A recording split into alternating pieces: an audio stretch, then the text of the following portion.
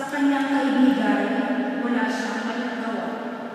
Hindi siya nagkakala ng ditunay na balita at itinatangkot niya ang matapat sa umihan.